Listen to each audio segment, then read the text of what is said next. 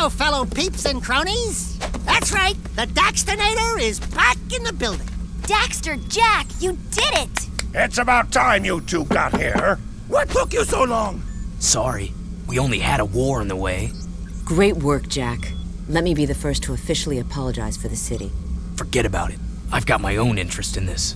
Well, what we know right now is there's a huge dark planet builder bearing down on us all. How much time we have, no one can guess.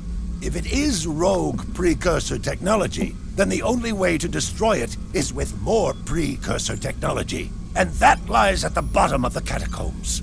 Also, the large number of eco crystals being moved about can mean only one thing. Someone is trying to awaken vast precursor technology. I think Veger's behind it. Or Errol. Or maybe... Oh, oh! Wait till you hear about my adventures in the wasteland. So there I was, facing a whole brood of slobbering metalheads, when all of a sudden... Uh-oh. It looks like a large-scale assault. Multiple targets inbound. You up for some action, Jak? Look who you're talking to. Let's rock and roll, Dax.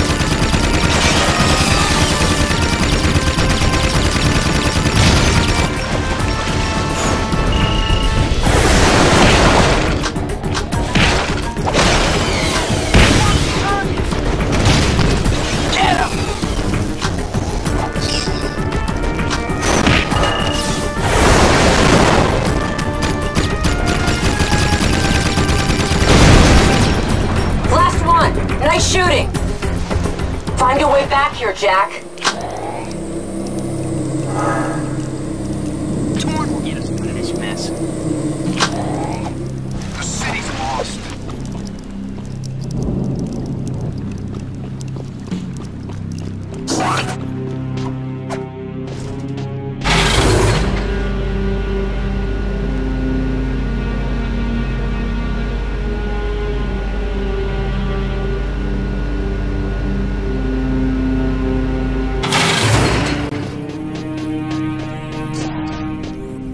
Nice moves, my boy.